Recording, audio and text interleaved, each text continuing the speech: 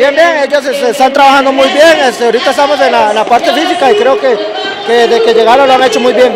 ¿Cómo han hablado con el profesor Hernán para la planificación del torneo nacional y de también? No, pues eso lo hablan ellos. Este, nosotros solo nos dedicamos a jugar y esperando ya que sea sábado para iniciar el torneo.